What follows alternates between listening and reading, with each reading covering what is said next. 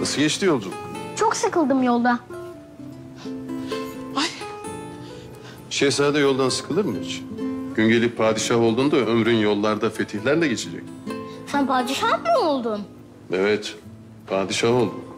Tamam da hayatım, kalk. hayırlı olsun Mehmet'im. Allah utandırmasın. Allah seni bu yüce makamda muvaffak kılsın. Amin. Babam padişah olmuş. Evet, evet.